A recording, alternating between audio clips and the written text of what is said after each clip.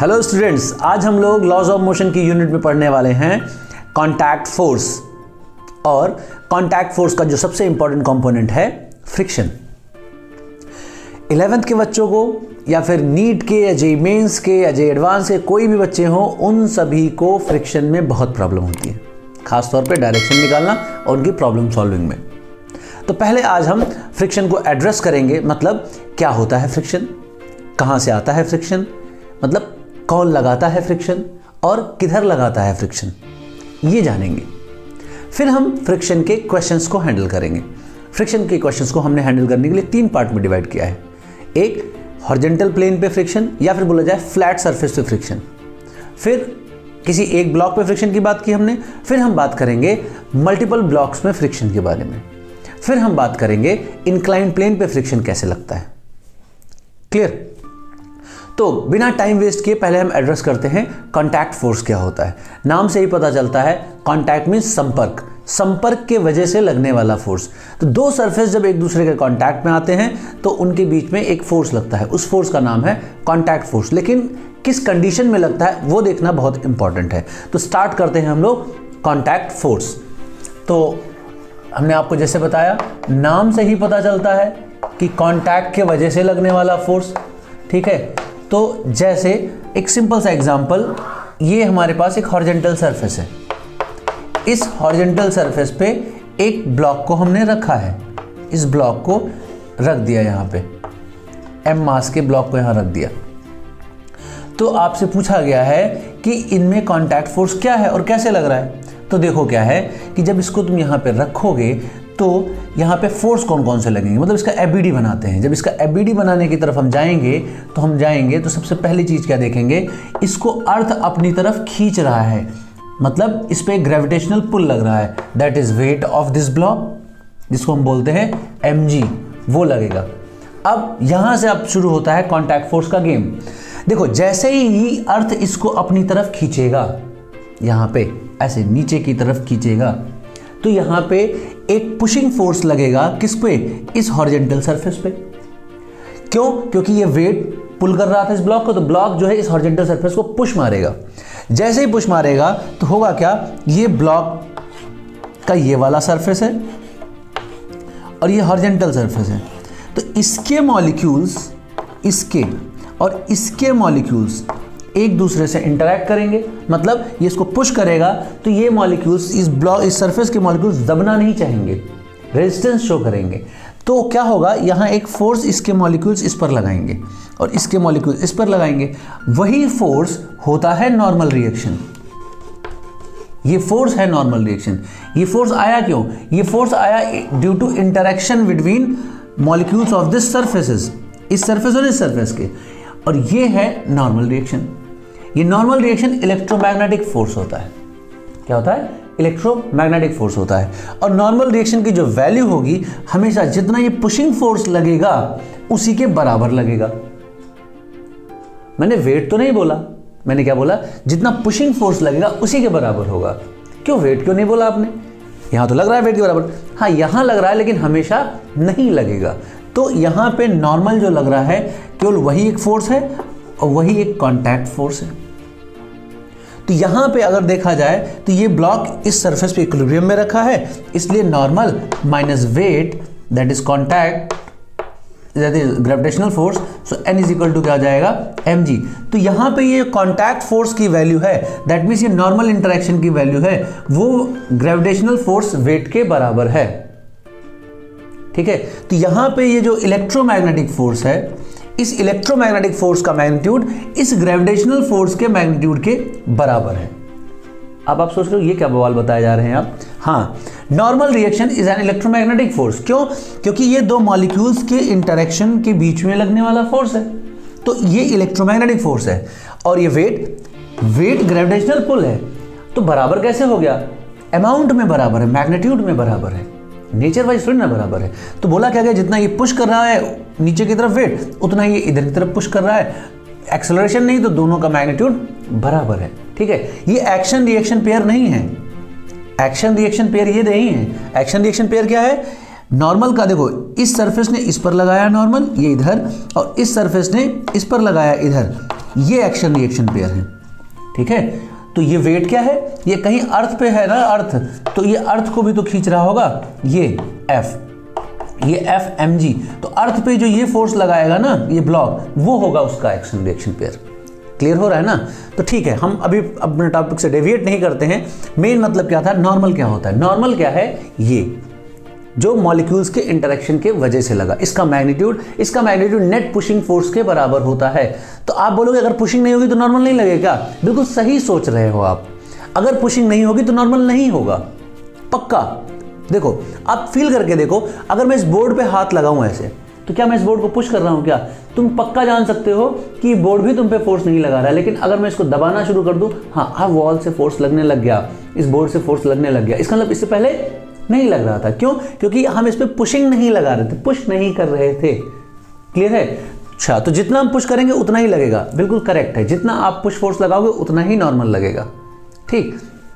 तो मतलब मतलब आपको फिर से हम एक एग्ज़ाम्पल लेके बताते हैं। अगर मैं बोलूँ कि ये ब्लॉक ये ब्लॉक यहाँ है, ऐसे रखा हुआ था, इस हॉर्जेंटल सरफेस पे। और मैं यहाँ की तरफ़ एक फोर्स लगा दूँ एफ़ फोर्स लगा दूँ हॉर्जेंटल से थीटा एंगल पर तो नॉर्मल कितना हो जाएगा? बहुत सिंपल है। आप इस फोर्स को रिजॉल्व करो। इस फोर्स को रिजॉल्व करोगे तो क्या मिलेगा आपको? आपको मिलने वाला है एफ़ कॉस थीटा रिजॉल्व करना सभी को आता है ना? ये हाइपोटेनस बनेगा, ये बेस बनेगा। तो base by hypotenuse F cos theta तो ये परपेंडिकुलर बन जाता तो ये क्या हो जाता? एफ़ साइन थीटा ठीक? तो अगर मैं इसका एफ़ बी डी देखूँ तो एफ़ बी डी देखूँगा मैं इसका तो क्या आएगा? एफ़ बी डी बने फ्री बॉडी डायग्राम तो इसका क्या आएगा? एम जी मतलब इस ब्लॉक को अर्थ जितने फोर्स से खींच रहा होगा that is M G that is weight और ये क्या हो जाएगा एफ़ कॉस थीटा ये हॉरिजेंटल डायरेक्शन में लगने वाला फोर्स और यहाँ पे क्या हो जाएगा एफ़ साइन थीटा मैं अभी खाली नॉर्मल में इंटरेस्टेड हूँ तो और यहाँ पे लगेगा एक interaction force that is normal तो नॉर्मल क्या हो जाएगा नेट पुशिंग फोर्स के बराबर बताया था ना? देखो ये इस डायरेक्शन में इक्विलिब्रियम में है कि नहीं? किस डायरेक्शन में? वर्टिकल डायरेक्शन में। तो ये अगर वर्टिकल डायरेक्शन में इक्विलिब्रियम में है तो इस पे लगने वाला नेट फोर्स वर्टिकल डायरेक्शन में क्या होगा? ज़ीरो होगा। सो क्या लिखा जाएगा? N plus F sine theta minus M G is equal to zero है नहीं? So N is equal to आ जाएगा weight minus F sine theta so अब देखो यहाँ नॉर्मल कम हो जाएगा। जब आप किसी को पुल करते हो और वैसे जैसे मैं खड़ा हूँ, कोई मुझे ऊपर की तरफ़ पुल करे तो मैं अर्थ को कम फोर्स से पुश करूँगा तो मेरे पास नॉर्मल भी कम आएगा। बहुत सारे बच्चे जान देते हैं बार बार सुन सुन के सुन सुन के कि नॉर्मल हमेशा वेट के बराबर होता है। एक्चुअली क्या कुछ कुछ क्वेश्चन में लगातार आपको मिल सकता होगा कि नॉर्मल वेट के बराबर है, लेकिन एक्चुअली होता नहीं है। आप सीधा आपने आपको बताया करो नॉर्मल नेट पुशिंग फोर्स के बराबर होगा दैट से तो सोचना ही नहीं है। तो नॉर्मल देखो यहाँ वेट से कम हो गया। अगर कभी ऐसा केस आया, जब एफ़ साइन थीटा डोमिनेट कर जाएगा तो ये नॉर्मल खत्म हो जाएगा। क्यों? तब इसको आप लिफ्ट करा लेंगे। क्लियर हो रहा है नहीं हो रहा? तो यहाँ पे आप देख सकते हो नॉर्मल कैसे आता है।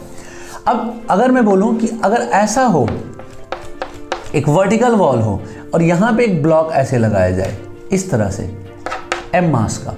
अब नॉर्मल कितना होगा? सीधा सा है, यहाँ मैंने एक पुशिंग फोर्स एफ़ लगाया।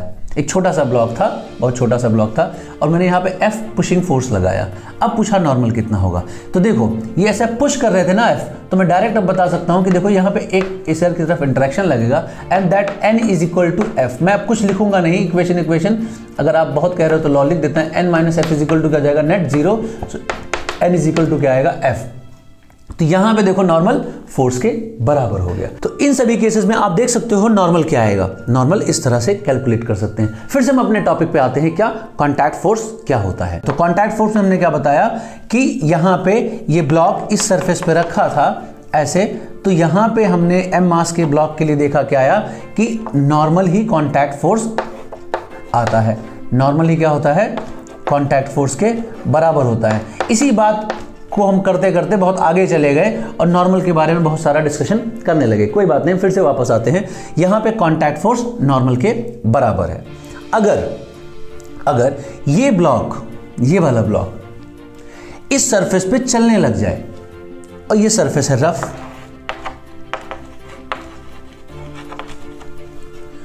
तो क्या होगा? देखो, जब दो सरफेसेस के बीच में जब दो कॉन्टैक्ट सरफेसेस के बीच में और करेक्ट कर दूँ तो जब दो कॉन्टैक्ट सरफेसेस के बीच में रिलेटिव मोशन हो या फिर रिलेटिव मोशन की टेंडेंसी हो तो उनके बीच में फ्रिक्शन आ जाता है। फिर से रिपीट करूँ, क्या बोला मैंने? मैंने बोला, जब दो कॉन्टैक्ट सरफेसेस के बीच में, आप कह रहे हो बॉडी नहीं बोल रहे हो? देखो बेटा, अब हो गए तुम बड़े। क्या हो गए हो? बड़े। पिद्दी भर के नहीं हो एट नाइन टेंथ में नहीं हो कि बॉडी बोलेंगे।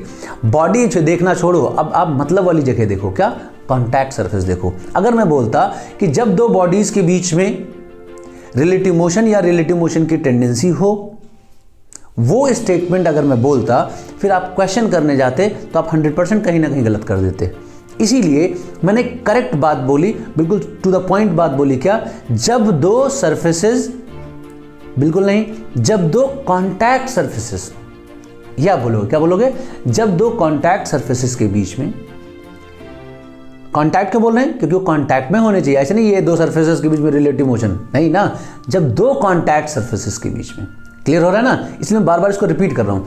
जब दो कॉन्टैक्ट सरफेसेस के बीच में रिलेटिव मोशन या फिर रिलेटिव मोशन की टेंडेंसी ये टेंडेंसी का मतलब क्या होता है? जैसे ये मैंने हाथ रखा है, क्या है? ये अभी क्या है?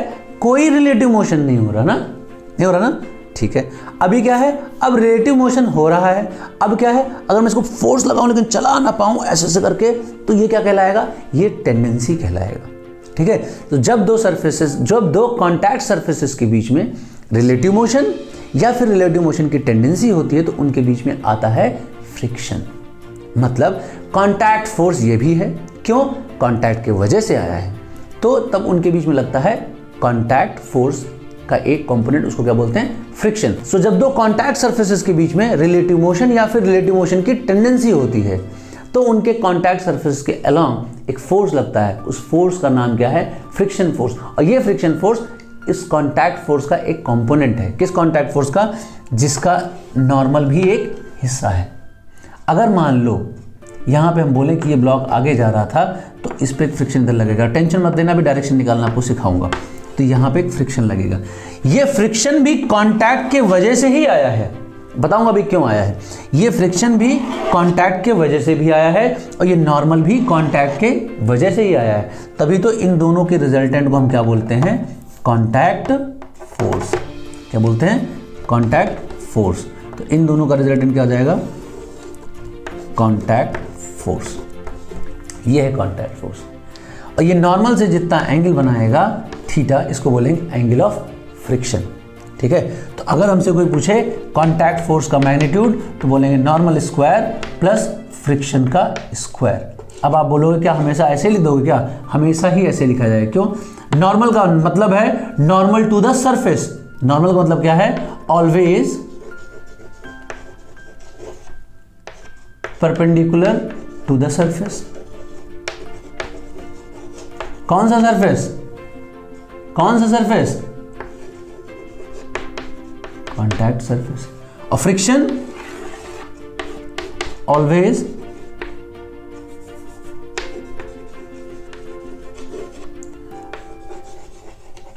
along the contact surface ठीक है? तो ये दोनों एक दूसरे के हमेशा परपेंडिकुलर ही आने वाले हैं। तो इन दोनों का हम क्या करेंगे? स्क्वायर करके ऐड कर देंगे। तो क्या हो जाएगा? कॉन्टैक्ट फोर्स हो जाएगा। और ये एंगल ये नॉर्मल से बना हुआ एंगल है। सो अगर मुझसे कोई बोले tan theta so tan theta की जो वैल्यू लिखी जाएगी, वो टैन थीटा लिखी जाएगी एफ़ डिवाइड बाई एन तो एंगल ऑफ़ कॉन्टैक्ट क्या लिखा जाएगा? फ्रिक्शन और नॉर्मल के बीच में लगने वाला एंगल तुम क्या लिखेंगे? Tan theta equal to F by N ठीक तो कॉन्टैक्ट फोर्स क्या होता है? जब दो सरफेस एक दूसरे कॉन्टैक्ट में आते हैं, तब उनके बीच में कॉन्टैक्ट फोर्स हो सकता है। अब आप बोलोगे, हो सकता है, क्यों बोल रहे हैं आप? हो सकता है। इसलिए बोल रहे हैं बेटा कि जैसे मैं अपने हाथ को टच करा रहा हूँ, लेकिन एक दूसरे पुश नहीं कर रहे हैं तो नॉर्मल नहीं लगेगा। और एक दूसरे के बीच में रिलेटिव मोशन की टेंडेंसी भी नहीं रख रहे हैं, या रिलेटिव मोशन भी नहीं रख रहे हैं तो फ्रिक्शन भी नहीं लगेगा। तो दिख रहे हैं आपको कॉन्टैक्ट में, लेकिन इनके बीच में लगने वाला कॉन्टैक्ट फोर्स नहीं होगा। ठीक तब कब होगा? जब दो सरफेस एक दूसरे को पुश करेंगे, तब होगा। और कब होगा? जब दो सरफेस पुश करें प्लस उनके बीच में सरफेसेस के बीच में रिलेटिव मोशन की टेंडेंसी या रिलेटिव मोशन होगा, तब भी होगा। समझे? तो इन दोनों केसेस में खाली होगा कब? जब दो सरफेस एक दूसरे को पुश करें, तब होगा। या फिर दोनों पुश करें और साथ साथ में रिलेटिव मोशन टेंडेंसी या रिलेटिव मोशन रखें, तब होगा। क्लियर तो अगर खाली रखे होते तो आपको बताया था खाली रखे होते तो नॉर्मल इज़ कॉन्टैक्ट फोर्स और अगर रखे के साथ साथ इधर की तरफ़ मूव कर रहे थे मूव करने की कोशिश भी मार रहे थे इस सरफेस के रिस्पेक्ट में तब भी होगा। हाँ तो एक और फोर्स आ जाएगा इसका भाई भी आ जाएगा। ठीक है? तो इसका भाई क्या आएगा? फ्रिक्शन आएगा। फ्रिक्शन हमेशा सरफेस के लॉन्ग लगेगा और ये हमेशा सरफेस के परपेंडिकुलर लगेगा। तो दोनों का रिज़ल्ट मिला के कॉन्टैक्ट बन जाएगा। तो अभी हमने देखा कॉन्टैक्ट फोर्स क्या होता है? नॉर्मल और फ्रिक्शन का रिजल्टेंट तो तुम्हारे मन में बात आई होगी फ्रिक्शन लगता क्यों? ठीक तो देखो, इसका रीजन क्या है? अब एक ब्लॉक यहाँ रखा था इस सरफेस पे। सो देखने में तो लग रहा है कि ये सरफेस पे रखा है।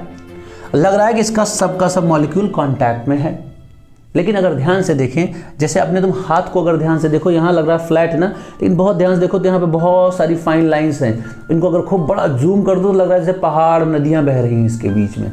और इसमें दूसरे हाथ को रखो और ऐसे से घिसो तो लग रहा है यार हाँ कुछ कुछ है कुछ कुछ फंस रहा है ना? वैसे ही हम आपको दिखाने जा रहे हैं। अगर मैं इस फ़ोटो को जूम करूँ तो ये फ़ोटो कुछ कैसे नज़र आएगी? ये वाली फ़ोटो को अगर मैं जूम करूँ तो ये फ़ोटो कैसे नज़र आएगी? ब्लॉक के लिए अगर बात करूँ तो ब्लॉक का ये जो सरफेस है, ये ऐसा ऐसा ऐसा ऐसा नज़र आएगा। ये ब्लॉक वाला सरफेस है, ठीक है? और हॉरिजेंटल सरफेस वाला कैसा नज़र आएगा? कुछ ऐसा नज़र आएगा। ऐसा नज़र आएगा। ये हॉरिजेंटल वाला सरफेस है।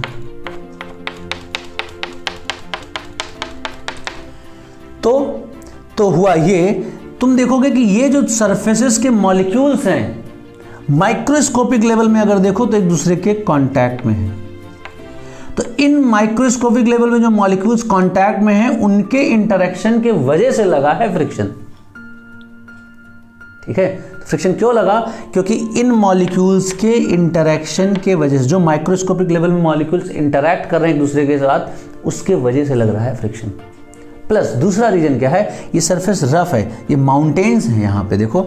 इस सरफेस का माउंटेन और इस सरफेस के माउंटेन ये दोनों माउंटेन्स एक दूसरे से लॉक कर गए हैं. जैसे ब्रेकर में आपकी गाड़ी फंस जाती है तो उसको चलाओ तो दिक्कत होती है ना निकालने के लिए. एग्जैक्टली exactly वैसे. तो यहाँ माउंटेन्स में फंसे हुए हैं, इस वजह से लग रहा है फ्रिक्शन तो फ्रिक्शन किस वजह से लगता है? जब दो सरफेसेस एक दूसरे कांटेक्ट में आते हैं, जब दोनों सर्फेस एक दूसरे कांटेक्ट में आते हैं तो उनके मॉलिक्यूल्स माइक्रोस्कोपिक लेवल में देखो, एक दूसरे से कांटेक्ट में आते हैं। तो इन मॉलिक्यूल्स के बीच में लगने वाला इंटरेक्शन फोर्स मतलब इलेक्ट्रोमैग्नेटिक फोर्स की वजह से होता है फ्रिक्शन फोर्स दूसरा दूसरा ये जो माउंटेन्स हैं सरफेस की रफनेस की वजह से, ये दूसरे में, एक दूसरे में इंटरलॉक कर जाते हैं। उसके वजह से लगता है फ्रिक्शन क्लियर चलो, ये तो पता चल गया फ्रिक्शन क्यों लगता है। अभी आप सोच रहे हो जितने ज़्यादा नंबर ऑफ़ इंटरेक्शन होंगे, उतना ज़्यादा फ्रिक्शन होगा। बिल्कुल सही बात है। तो इसका मतलब जितना बड़ा एरिया होगा, उतना ज़्यादा फ्रिक्शन होगा। मतलब मतलब अगर मैं अपने हाथ को इस सरफेस को हिट कर, इस सरफेस को इस पर रब करूँ तो फ्रिक्शन ज़्यादा होगा एज कंपेयर टू जब इस सरफेस को रब करूँ तब, क्योंकि यहाँ पे एरिया कम है। तो इस सरफेस ज़्यादा फ्रिक्शन होना चाहिए। पहली नज़र में देखने से तो ऐसा ही लग रहा है।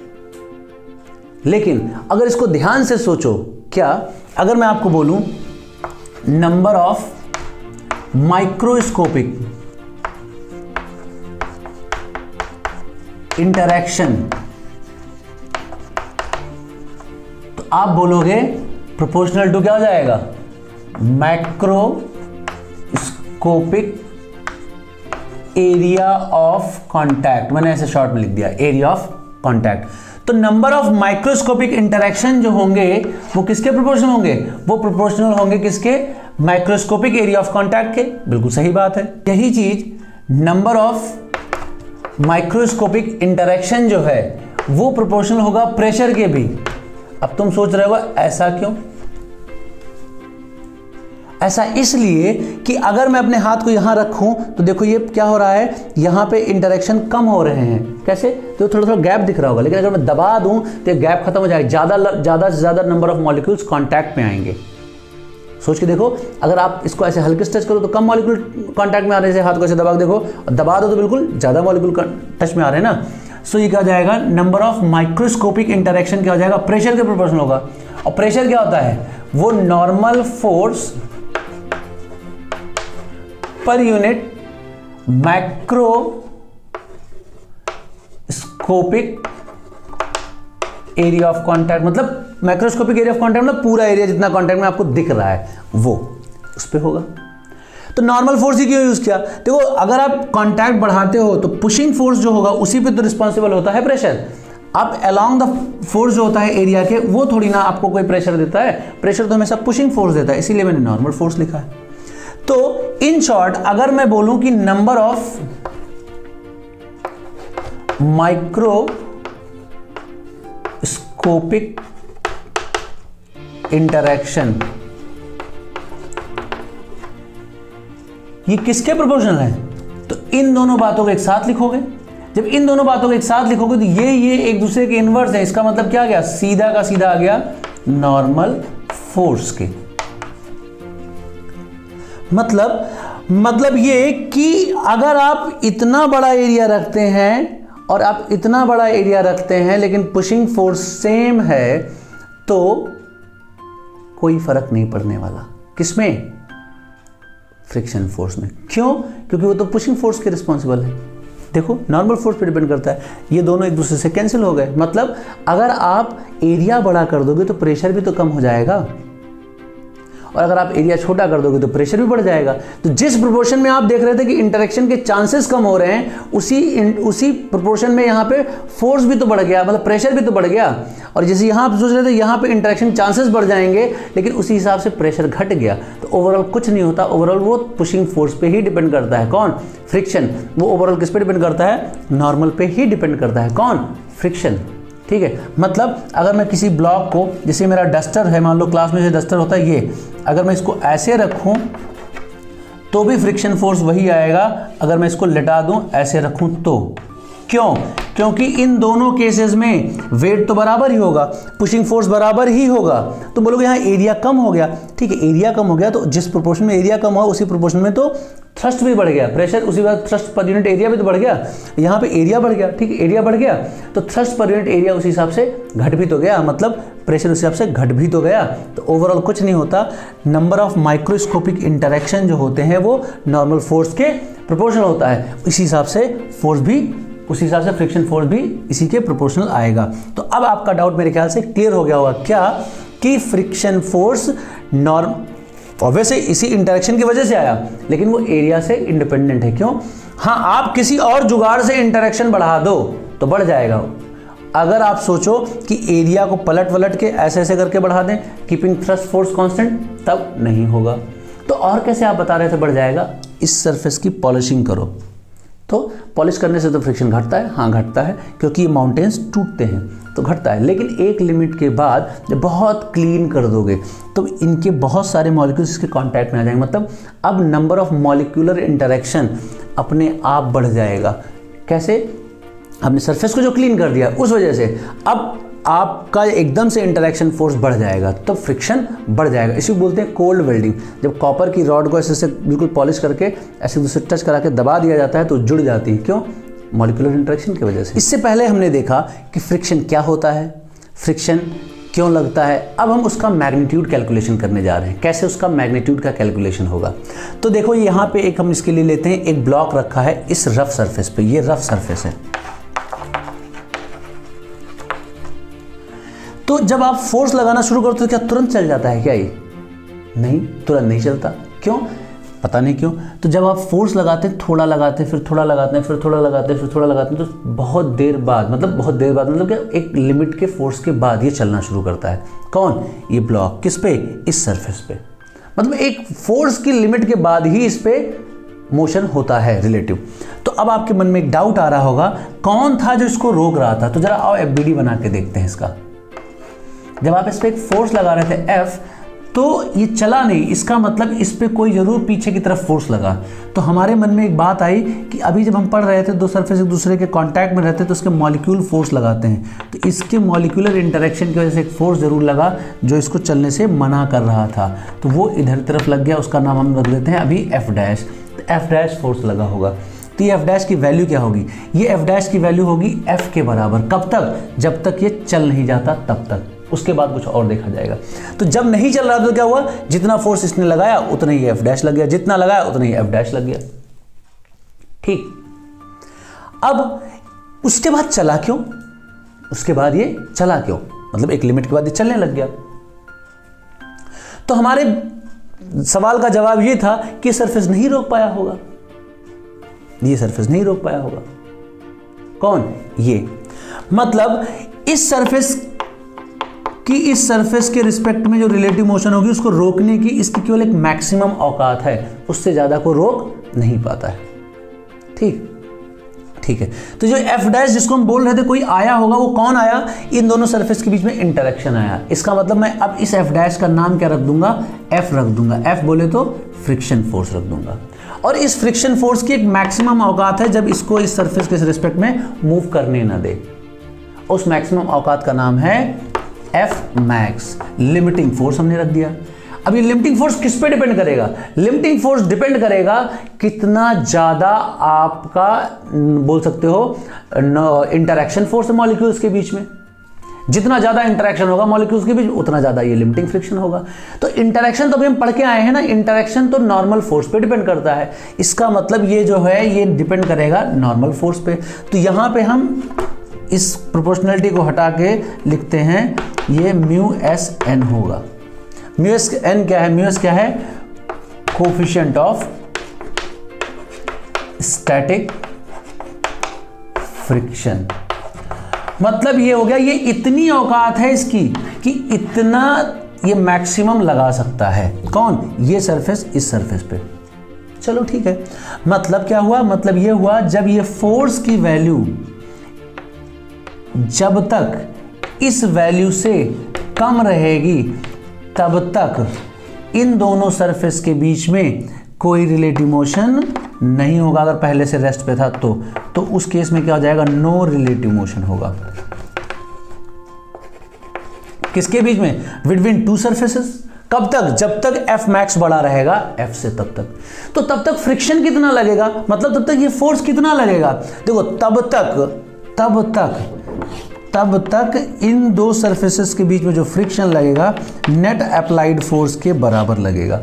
और इस फ्रिक्शन का नाम हमने रखा है स्टैटिक फ्रिक्शन फ्रिक्शन फोर्स तो इसका मतलब यह हुआ कि जब आप फोर्स लगाते हैं तो कोई ज़रूरी नहीं, चल ही जाए। अब आप ध्यान रखो प्रॉब्लम सॉल्विंग में इस बात का बिल्कुल सटीक ध्यान रखना चलेगा। कब? जब ये अप्लाइड फोर्स एफ़ मैक्स के बड़ा हो जाए तब, ठीक है? जब बड़ा हो जाएगा तब चलेगा, जब छोटा रहेगा तो नहीं चलेगा, जब छोटा रहेगा तो नहीं चलेगा तो क्या हो जाएगा? तब उस केस में फ्रिक्शन फोर्स अप्लाइड फोर्स के बराबर होगा, ठीक है? अब इसको मैं एक एग्जांपल से आपको समझाता हूँ। जैसे यहाँ पे मान लो ये 10 के का एक ब्लॉक रखा था। और यहाँ पे म्यू एस की वैल्यू दे रखी है, वो पॉइंट एट दे रखी है। तो अगर मैं आपसे पूछूँ कि यहाँ पे F इज़ इक्वल टू अगर मैं 30 न्यूटन लगाता हूँ तो फ्रिक्शन फोर्स कितना होगा? तो बहुत सारे लोग बोल देते हैं, बहुत सारे बच्चों का जो टेंथ के बच्चे हैं इलेवेंथ में जो आते हैं, वो बोलते हैं फ्रिक्शन फोर्स फ्रिक्शन फोर्स तो होता है म्यू एस एन तो म्यू एस एन हो गया तो म्यू एस की वैल्यू हो गई पॉइंट एट नॉर्मल की वैल्यू हो गई कितनी? नॉर्मल हो जाएगा हंड्रेड क्यों? टेन है तो टेन का वेट कितना जाएगा? हंड्रेड तो यह जाएगा एट्टी न्यूटन। तो बहुत सारे बच्चे इसका आंसर एट्टी न्यूटन फटाफट दे देते हैं। जो पहली बार इसको अप्रोच करते हैं वो। गलत है ना? तो यहाँ पे क्या हो जाएगा? ये एट्टी न्यूटन नहीं होगा। तो कितना होगा? कुछ होगा, लेकिन एट्टी नहीं होगा। कुछ कितना होगा? चेक करो ना पहले। बिना चेक किए आप सवाल का जवाब नहीं देंगे। तो ये एक्चुअली एफ़ मैक्स है। क्या ये? एफ़ मैक्स है। मतलब एफ़ मैक्स से क्या बड़ा फोर्स है या कम फोर्स है? तो देखो यहाँ पे ये जो फोर्स है 30 न्यूटन एफ़ मैक्स से छोटा है, क्योंकि एफ़ मैक्स हमारा आ रहा है 80 न्यूटन तो 80 न्यूटन से ये छोटा है। जब छोटा है तो नहीं चलेगा। जब नहीं चलेगा तो फ्रिक्शन कितना लगेगा? 30 न्यूटन इसका मतलब यहाँ पे जो फोर्स लगेगा वो लगेगा 30 न्यूटन ओनली क्लियर तो 30 न्यूटन का फोर्स केवल यहाँ पे लगेगा। न 30 न्यूटन से ज़्यादा, न 30 न्यूटन से अभी कम, केवल 30 न्यूटन लगेगा। ठीक?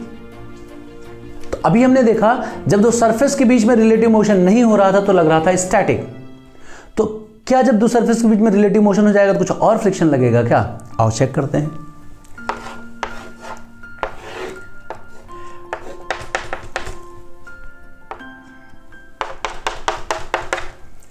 जब दो सरफेस के बीच में रिलेटिव मोशन हो जाएगा, कब हो जाएगा रिलेटिव मोशन जब एफ़ की वैल्यू बड़ी हो जाएगी किससे? एफ़ मैक्स से बड़ी हो जाएगी, तब तब दो सरफेस के बीच में रिलेटिव मोशन हो जाएगा। उस केस में क्या फ्रिक्शन डिफरेंट लगेगा? हाँ डिफरेंट लगेगा। उस केस में फ्रिक्शन लगता है काइनेटिक क्या लगता है? काइनेटिक फ्रिक्शन लगता है। ये काइनेटिक क्या होता है? देखो काइनेटिक क्या है? जब ये ब्लॉक इस ब्लॉक इस ये ब्लॉक इस सरफेस पर रखा था तो इन सरफेस के बीच में हो गई रिलेटिव मोशन तो देखा जाए तो ये माउंटेन जैसे मेरे हाथ ये ऐसे ऐसे जाने लग गए ट्रेवल करने लग गए। अब इस फ्रिक्शन की वैल्यू फिक्स हो जाएगी और इस फ्रिक्शन की जो वैल्यू हो जाएगी, वो फ्रिक्शन की वैल्यू लिखी जाएगी mu K times of N ये म्यू के क्या लेके आए हैं आप? ये म्यू के क्या है हमारे पास? म्यू के है कोफिशियंट ऑफ़ काइनेटिक फ्रिक्शन क्या ये स्टैटिक फ्रिक्शन कोफिशिएंट से डिफरेंट होता है? बिल्कुल डिफरेंट होता है। म्यू एस की वैल्यू म्यू के से जनरली बड़ी होती है, लेकिन बड़ी है बराबर हम यहाँ लिखे दे रहे हैं। क्यों लिखे दे रहे हैं? जब आपको केवल म्यू दिया जाएगा तो इसी को म्यूजेस समझ लेना, इसी को म्यू के समझ लेना। अदरवाइज़ म्यू के की वैल्यू म्यू एस से थोड़ी कम होती है। क्यों? देखो, पता किसी को नहीं है, लेकिन सीधा सा मतलब कुछ ऐसा समझाया ही गया कि जब ये सरफेस ही सरफेस के ऊपर रखा था माउंटेन्स थे फंसे, चलने लग गया। तो देखो, पहले इनर्शिया ऑफ़ रेस्ट में था, उसको ओवरकम किया तो वो एक बाउंड्री थी, उस पर ज़्यादा था, इस वजह से। दूसरा, अभी क्या था, जब ये चलने लग गया तो ये माउंटेन्स एक दूसरे के ऊपर घिसने लगे तो माउंटेन्स टूटने लगे तो सरफेस बिट स्मूथ हो जाएगा। इसीलिए ये कम हो गया, समझे? तो ये म्यूके हो गया। म्यूके क्या हो गया? Kinetic coefficient of friction mu K की वैल्यू स्मॉल वेलोसिटी रेंज के लिए मतलब सेंटीमीटर पर सेकेंड से एक दो मिलीमीटर पर सेकेंड तक के लिए कांस्टेंट होती है। फॉर स्मॉल वेलोसिटी कांस्टेंट होती है। मतलब ज़्यादा वेलोसिटी पे इसकी वैल्यू बदलेगी। लेकिन तुम पेन मत लो, कोई तुमसे पूछे म्यू के बोलो कांस्टेंट है। लेकिन अगर कोई बहुत प्रिसाइज होकर पूछे हाई वेलोसिटी बोलो, बदलेगी। लो वेलोसिटी पे कांस्टेंट रहती है। हमारे यहाँ जितने मैकेनिक्स के क्वेश्चन होंगे, उसमें हम म्यू के कांस्टेंट लिखेंगे। म्यू के क्या है? Coefficient of static kinetic friction है। और स्टैटिक जो काइनेटिक है, वो क्या हो जाएगा? वो सरफेस के नेचर पे डिपेंड करता है। Depends on nature of surfaces मतलब इसका कोई लेना देना नहीं है। किससे लेना देना नहीं है? इसका इस बात से लेना देना नहीं है कि सरफेस का शेप कैसा है। सरफेस का साइज़ कितना बड़ा, उससे कोई लेना देना नहीं। सरफेस के नेचर पे डिपेंड करता है। ठीक? एरिया से इंडिपेंडेंट होता है। इंडिपेंडेंट ऑफ़ एरिया होता है। एरिया से कोई लेना देना नहीं है। मतलब ये सरफेस के नेचर पे डिपेंड करता है। सरफेस के शेप साइज़ से डिपेंड नहीं करता है। ठीक है? और ये स्मॉल वेलोसिटी रेंज के लिए कांस्टेंट होता है, बड़ी वेलोसिटी के लिए बदलता है। म्यूके की वैल्यू म्यूएस से थोड़ी कम होती है। क्यों? ड्यू टू इनर्शिया जब कोई रेस्ट से मूव करना शुरू करता है तो ज़्यादा फील होता है फोर्स दूसरा माउंटेन्स पहले एकदम लॉक रहते हैं, चलते हैं तो माउंटेन्स ब्रेक करते हैं, थोड़ा सरफेस स्मूथ होता है, इसलिए। क्लियर हो गया? सो so, जब दो सरफेस के बीच में रिलेटिव मोशन हो जाएगा रिलेटिव मोशन कब होगा? जब ऐसा होगा तब। जब ऐसा होगा तब दोनों सरफेस के बीच में रिलेटिव मोशन होगा। जब रिलेटिव मोशन होगा तब उनके बीच में लगेगा काइनेटिक फ्रिक्शन काइनेटिक फ्रिक्शन क्या हो जाता है? Mu K times of N अब आप सोच रहे होगे एक बात क्या ये mu K times of wait भी बोल सकते हैं क्या? नहीं mu K times of N बोलोगे एन की वैल्यू कभी वेट आएगी तो रख देना अदरवाइज़ ज़्यादा काबिल मत बनना, गलत हो जाएगा। नॉर्मल फोर्स के बराबर होता है पुशिंग फोर्स के बराबर होता है। हाँ अगर आप ऐसा बोलना चाहो काइनेटिक फ्रिक्शन वैल्यू क्या होती? है mu K times of pushing force agreed ठीक है mu K times of wait चुप रहो। ठीक, अब अगर मैं इसको थोड़ा ग्राफिकली समझूं, जितना भी हम पढ़ के आए हैं उसको तो क्या होगा? ये फोर्स था, ये फ्रिक्शन था। अगर मैं इसको ग्राफिकली समझूं तो देखो, जब तक रिलेटिव मोशन नहीं था, जब तक रिलेटिव मोशन नहीं था, तब तक मतलब कब? जब फोर्स की वैल्यू एफ़ मैक्स से कम था। तब तक। तब तक फ्रिक्शन फोर्स की जो वैल्यू थी, इस वाले सिचुएशन में तो आपने बताया था एफ़ के बराबर है तो देखो एफ़ के साथ बढ़ रहा है, नहीं बढ़ रहा। तो इसलिए बढ़ गया तो ये क्या हो जाएगा? 45 डिग्री पे लगेगा। ठीक है? फिर क्या हो जाएगा? लेकिन जब f की वैल्यू बड़ी हो गई f मैक्स से, उसके बाद उसके बाद यहाँ पे देखो क्या कुछ कुछ किताबों में अजीब सा ऐसा दिया होगा। ऐसा। एक्चुअली होता तो बड़ा अजीब सा इस जगह, लेकिन हम अपने समझने के हिसाब से इसको ऐसा बनाएँगे। ठीक है? हमें कोई इससे ज़रा ज़रूरत भी नहीं कि यहाँ पे क्या होगा, थोड़ा रफनेस चेंज होगी, ये सब होगी तो ग्राफ इस तरह से एक्चुअली सही बनाया जाए तो ऐसे बनेगा। लेकिन उससे हमारे जो हमारे लेवल पे जो क्वेश्चंस होंगे, उसमें कोई खास इसका इंपॉर्टेंस नहीं है। तो मैं इसको ऐसे बना दे रहा हूँ, समझने के लिए ऐसा। इस केस में क्या है? इस केस में क्या है? एफ़ बड़ा हो गया एफ़ मैक्स से, तब फ्रिक्शन फोर्स की जो वैल्यू आएगी, वो हो जाएगी mu K times of normal ये हो जाएगी। यहाँ पर, यहाँ तक, जहाँ पे एफ़ की वैल्यू जो थी एफ़ मैक्स के बराबर नहीं थी, तब तक क्या था? यहाँ तक कोई रिलेटिव मोशन नहीं था। तो क्या हो जाएगा? No relative motion. इसके बाद देर इज़ रिलेटिव मोशन ठीक है? तो यहाँ क्या हो जाएगा? रिलेटिव मोशन समझ रहे हो किसके बीच में रिलेटिव मोशन की हम बात कर रहे हैं।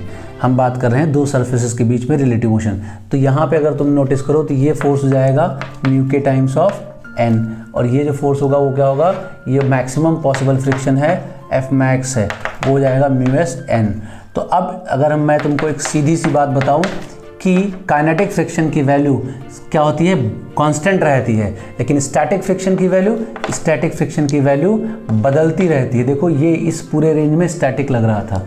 ठीक है? तो अब अगर हम आपसे बोलें तो बोलोगे स्टैटिक फ्रिक्शन की वैल्यू इस रेंज में कुछ भी हो सकती है। ज़ीरो से लेके एफ़ मैक्स के बीच में कुछ भी हो सकती है शॉर्ट में। और काइनेटिक फ्रिक्शन की वैल्यू काइनेटिक फ्रिक्शन की वैल्यू केवल और केवल यही लिखी जाएगी म्यू के एन लिखी जाएगी। तो स्टैटिक फ्रिक्शन चेंज होता है।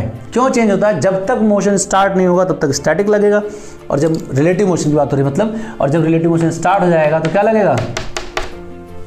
काइनेटिक लगेगा। तो क्या जाएगा? वो mu K times of N हो जाएगा। क्लियर फ्रिक्शन में सबसे ज़्यादा डाउट होता है बच्चों को डायरेक्शन ऑफ़ फ्रिक्शन निकालने में। आओ उसको डिस्कस करते हैं। देखो फ्रिक्शन का डायरेक्शन निकालने का बेस्ट तरीका है, मान लो फ्रिक्शन है ही नहीं। मतलब मतलब मानो फ्रिक्शन नहीं है। तो अपने आप आ जाएगा। कैसे? आओ। अगर मान लो सबसे पहला एग्ज़ाम्पल ये देखते हैं। मानो फ्रिक्शन नहीं है। तो ये ब्लॉक किधर भाग के जाता? ये ब्लॉक आगे भाग के जाता। फ्रिक्शन नहीं तो आगे भाग के जाता ना? ठीक है। तो इस सरफेस की बात करें, अगर ब्लॉक के सरफेस की बात करें तो ये सरफेस किधर भाग के जाता?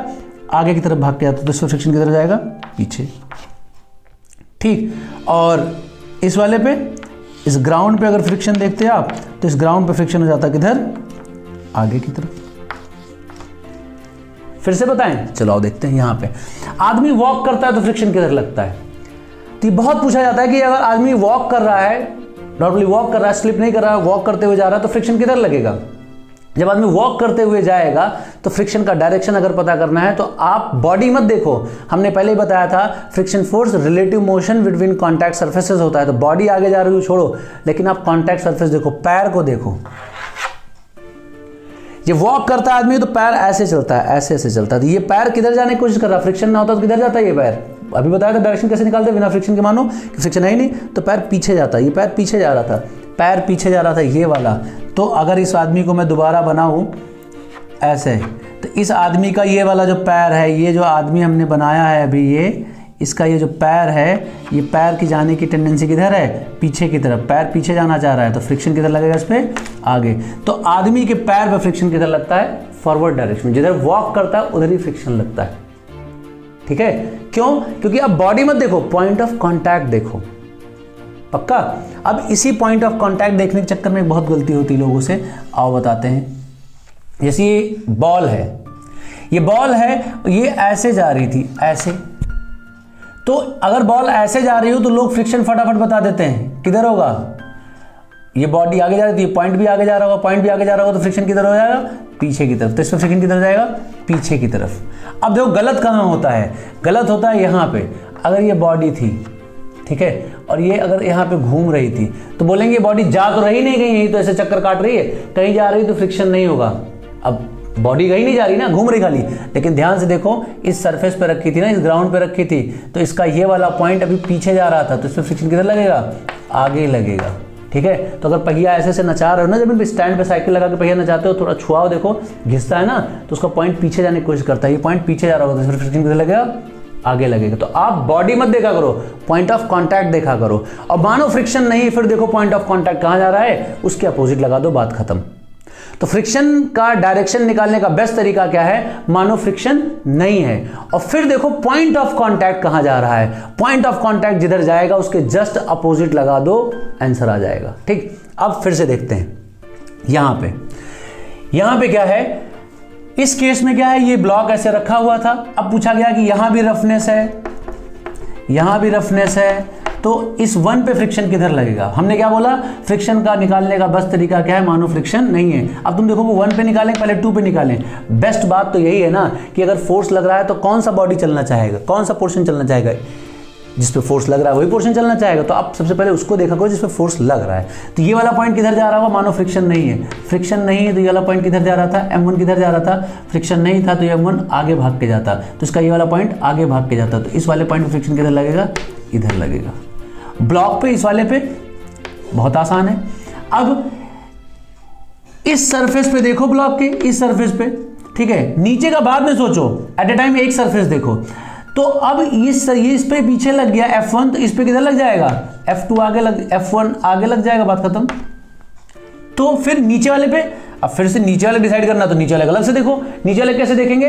नीचे वाले देखेंगे ये अगर देखो वहाँ पर मान लो फ्रिक्शन फिर से नहीं है तो यहाँ फ्रिक्शन है? नहीं है। तो फ्रिक्शन नहीं है तो ये पॉइंट ऑफ़ कॉन्टैक्ट आगे जा रहा था तो सब फ्रिक्शन किधर लगेगी? पीछे लगेगी एफ़ टू तो आप कहते हैं, मुझे उल्टा चल के दिखाओ, नीचे चल के दिखाओ तो बेवकूफ़ी वाली बात होती नहीं होती। अब अब ऐसे देखोगे तो आपको समझ में आएगा क्या कौन चल रहा है, कौन नहीं चल रहा है। तो आप बिल्कुल ऐसे मत डिसाइड करो।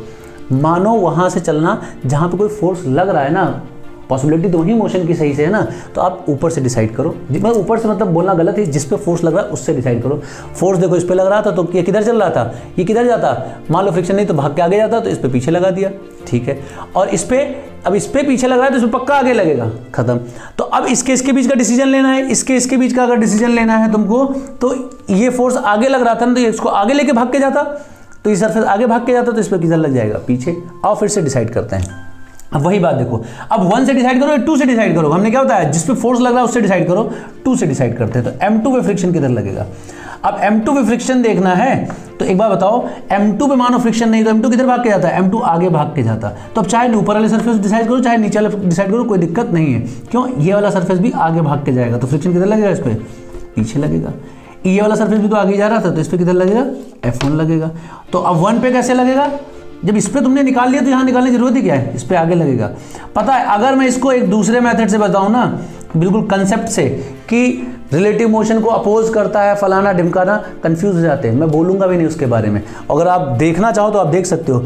ये ब्लॉक अगर आगे जाता तो इसके रिस्पेक्ट में पीछे जाता तो किधर लगता? आगे लगता नहीं लगता? तो मैं इस तरह से निकालूँगा तो बड़ा डिफ़िकल्ट हो जाएगा। इतना सोचना बहुत कॉम्प्लिकेटेड है। बेस्ट तरीका क्या? मानो फ्रिक्शन नहीं है। फिर देखो कहाँ भाग के जा रहा है। डायरेक्शन आ जाएगा। तो यहाँ क्लियर हो गया? क्लियर अब इस पे आओ बात करते हैं और इस पे बात करते हैं। सबसे पहले साइकिल पे बात करते हैं।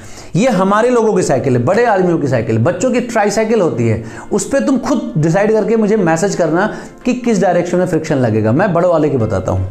इस पर अगर फ्रिक्शन का डायरेक्शन डिसाइड करना है तो बड़ा ही कॉम्प्लिकेटेड है। कैसे? जब आप पैडल मारना शुरू करोगे, ठीक है, तब क्या होगा? जैसे ही आप पैडलिंग करना शुरू करोगे, ये पहिया ऐसा घूमना शुरू करेगा। ऐसा। तो जैसे पैडलिंग करोगे पहिया ऐसा घूमना शुरू करेगा तो इसका ये बॉटम मोस्ट पॉइंट कहाँ जाएगा? पीछे जाएगा। जैसे बॉटम मोस्ट पॉइंट पीछे जाएगा तो इस पर फ्रिक्शन किधर लगेगा? तो पीछे वाले पहिए पे फ्रिक्शन किधर लगेगा? पीछे वाले पहिया पे फ्रिक्शन लगेगा आगे की तरफ़। F1 जैसे इस पे आगे लगा फ्रिक्शन अभी तुमने पैडलिंग करी थी, पहिया को तुमने नचाया था, तुम्हारी औकात नहीं, साइकिल को पैडल मार के आगे लेके चले जाओ।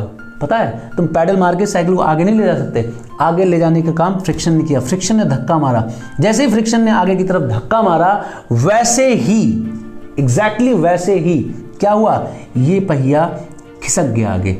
जैसे ये पहिया आगे खिसकेगा, जैसे ये पहिया आगे खिसकेगा, इस पर फ्रिक्शन किधर लगेगा? जैसे ही पहिया आगे खिसकेगा, इस पर फ्रिक्शन लगेगा किधर? पीछे की तरफ़ लगेगा। तो अब इस पहिए की बात करें तो इस पर फ्रिक्शन लगेगा पीछे की तरफ़ F2 तो पीछे वाले पे आगे आगे वाले पे पीछे लगता है। अब मोशन समझो जरा। ये वाला फ्रिक्शन ये वाला फ्रिक्शन जब तुमने पैडलिंग किया तो पहिया नाचना शुरू किया तो ये वाला फ्रिक्शन इसको आगे की तरफ़ फ्रिक्शन दे रहा था। किधर दे रहा था? आगे की तरफ़ दे रहा था। और जैसे ही तुमने जो है इस आगे तरफ़ फ्रिक्शन दिया जैसे पहिया खिसकने लग गया ट्रांसलेट करने लग गया। वैसे ही क्या हुआ? वैसे ही हुआ ये कि इस पे पीछे की तरफ़ फ्रिक्शन लगने लग गया। तो ये फ्रिक्शन इसको ट्रांसलेशन मोशन दे रहा है तो ये इसका अपोज कर रहा है। हाँ अपोज तो कर ही रहा है, लेकिन ये भी बहुत इंपॉर्टेंट काम कर रहा है। ये इस पहिया को नचा रहा है। अगर आप पैडल करते हैं ना, और यहाँ फ्रिक्शन नहीं होता तो ये पहिया नाच नहीं पाती। ये यहाँ फ्रिक्शन होता है यहाँ फ्रिक्शन नहीं होता तो ये पहिया नाच नहीं पाती। है क्या? तो खिसकती हुई आगे चली जाती। लेकिन इस फ्रिक्शन ने इस पहिया को नचाया। और अगर आप पैडल करते ना तो ये पहिया जो है क्या हो जाता? खाली नाचती। खाली नाचती ऐसे घूमती रहती यहाँ पे खाली। फ्रिक्शन ने इस पहिया को आगे की तरफ़ चलाया। समझे? तो फ्रिक्शन ने इस पहिया को ट्रांसलेशन दिया और इस फ्रिक्शन के ट्रांसलेशन से ये पहिया ट्रांसलेट करने लग गया और फ्रिक्शन ने इस पहिया को नचाया। समझे? इस तरह से फ्रिक्शन लग रहा होगा साइकिल की पहिया पे। अब आप बच्चों वाली साइकिल पे खुद देखना जिसमें आगे पैडल लगी होती। है ठीक है? समझ में आ गया? अब आखिरी बात करते हैं इस ब्लॉक की। इस ब्लॉक पे फ्रिक्शन का डायरेक्शन किधर होगा? इस ब्लॉक पे फ्रिक्शन का डायरेक्शन डिपेंड करेगा इस फोर्स पे। क्यों? अगर फोर्स कमज़ोर टाइप का लगा दो तो कुछ और होगा, बहुत स्ट्रांग लगा दो, कुछ और होगा। क्यों? मानो यहाँ फ्रिक्शन नहीं है। तो ब्लॉक किधर जाता? तो आप पहले बोलते कि ब्लॉक किधर जाता? तो तो सर डिपेंड करता है ब्लॉक किधर जाएगा, किस पे? डिपेंड करता है आपने फोर्स कितना तगड़ा लगाया। मान लो कोई मरीज़ टाइप का फोर्स लगा दोगे तो ब्लॉक नीचे नहीं आना शुरू कर देगा। तो अगर फोर्स वीक होगा तो ये ब्लॉक नीचे की तरफ़ आएगा। जब इस ब्लॉक के नीचे की तरफ़ आने की टेंडेंसी होगी तो फ्रिक्शन लगेगा अपवर्ड डायरेक्शन में। ठीक? लेकिन अगर ये फोर्स स्ट्रांग लगा दो स्ट्रांग लगा दो, कितना स्ट्रांग लगा दो, उसकी बात हम न्यूमेरिकल में करेंगे। ठीक है? अगर मान लो इस पर स्ट्रांग फोर्स लगा दें तो इसकी टेंडेंसी किधर जाने की होगी? ऊपर जाने की होगी। जब इसकी ऊपर जाने टेंडेंसी होगी तो फ्रिक्शन नीचे लगेगा। मतलब क्या हुआ? मतलब ये हुआ कि हम डायरेक्शन बता नहीं सकते क्या? हाँ आप ऐसे नहीं बता सकते। जब ऐसा क्वेश्चन आता है तो हम नंबर ऑफ़ पॉसिबिलिटीज देखते हैं कि कौन किधर मूव कर सकता है।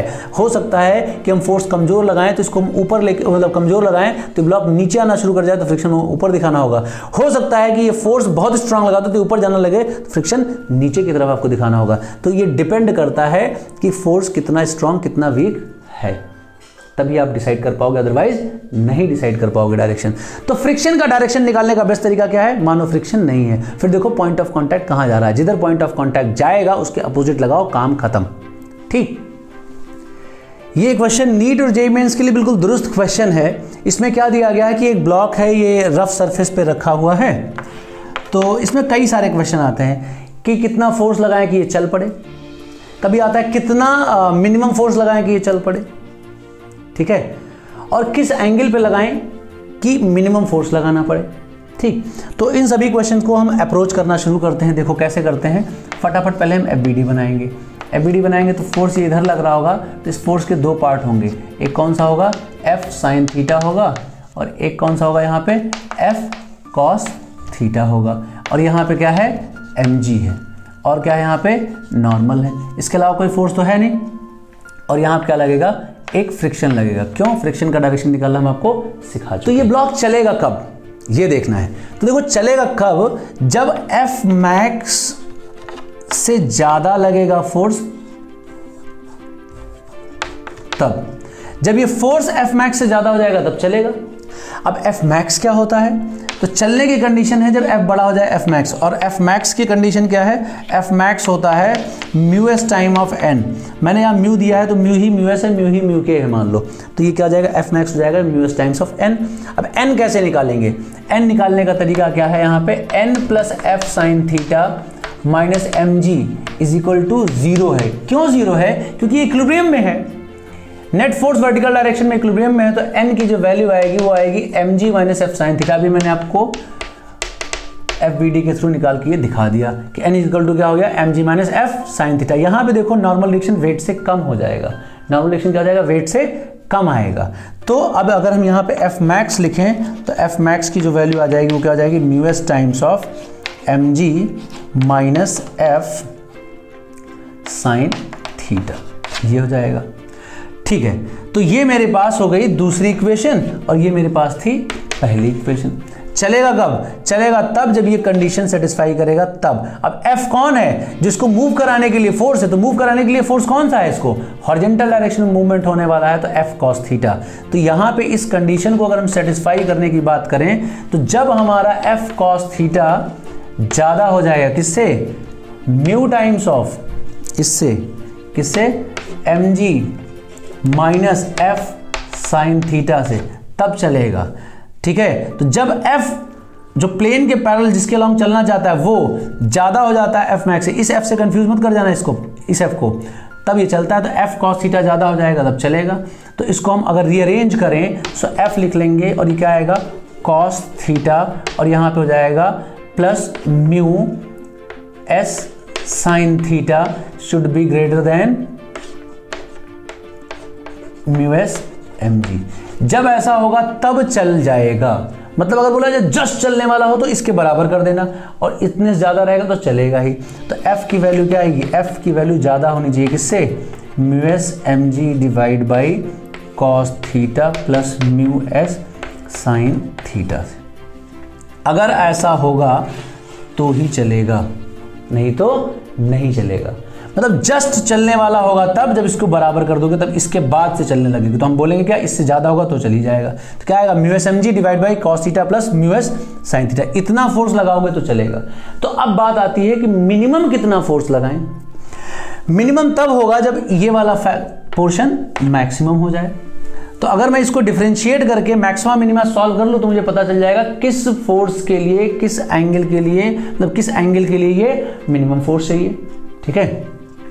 इसको कर दो मैक्सिमम तो D X by D theta निकाल के कर दो ज़ीरो तो क्या आएगा ये? सॉल्व होने के बाद आएगा minus sine theta minus mu S cos theta equal to zero तो ये क्या मिलेगा आपका? Tan theta equal to mu मिलेगा। Tan theta equal to mu जब होगा, तब मिनिमम होगा। उस समय मिनिमम फोर्स लगेगा। तो उस समय क्या होगा? मिनिमम फोर्स मुझे मिलेगा। So tan theta equal to mu हो गया तो मैं इसको अब सीधा सीधा से साइन कॉस की वैल्यू रखोगे तो मिनिमम फोर्स आएगा mu S M G divide by one plus mu S square का रूट ओवर ये आएगा मिनिमम फोर्स जब ये चलेगा। क्लियर अब इसी क्वेश्चन में अगर पूछा जाए कि हम पुल ना करके इसको पुश करके ले जाते तो? पुश करके ले जाते तो क्या होता? अब खुद बताओ, टेबल को खींच के ले जाना आसान होता है कि दबा के आसान, ले जाना आसान होता है? उस सवाल का जवाब यही मिलने वाला है। तो मैं कुछ करने वाला नहीं हूँ। मैं फटाफट आपको इसका एफ़ चेंज करके इसी में आंसर बताने वाला हूँ। एफ़ अगर मैं ऐसे लगा दूँगा तो ये हो जाएगा हमारे पास एफ़ साइन थीटा और ये हो जाएगा हमारे पास क्या? एफ़ कॉस थीटा ठीक है? तो देखो यहाँ पे नॉर्मल क्या हो जाएगा? ये ऐसे हो जाएगा तो मेरा ये नॉर्मल बढ़ जाएगा। क्या जाएगा? नॉर्मल बढ़ जाएगा। अब एफ़ कॉस थीटा की वैल्यू जब इससे ज़्यादा होगी तभी चलेगा तो यहाँ पे क्या जाएगा? प्लस आ जाएगा। मैं जानबूझ के इसी में कर रहा हूँ जिससे आपको याद करने में आसान हो। फटाफट आप शॉर्ट में समझ जाओ क्या होता है, खाली चेंज क्या होता है। तो इसका मतलब यहाँ क्या आ जाएगा? खाली यहाँ पे आ जाएगा, ये इसको इस तरफ़ भेजेंगे तो ये वाला पोर्शन यहाँ पे माइनस में आ जाएगा। जब ये माइनस में आ जाएगा तो यहाँ पे माइनस में आ जाएगा। तो अब देखो, ये वाला फोर्स ज़्यादा है कि वो वाला फोर्स ज़्यादा था? उसमें नीचे डिनोमीटर में प्लस था, बाकी कोई चेंज हुआ? वहाँ डिनोमीटर में प्लस था, इसलिए वो फोर्स कम आ रहा था, यहाँ पे माइनस हो गया, इसलिए फोर्स ज़्यादा आएगा। तो अगर आप पुश करके ले जाओगे तो ज़्यादा ताकत लगानी पड़ेगी पुल करके ले जाओगे तो कम ताकत लगानी पड़ेगी। क्लियर समझ आया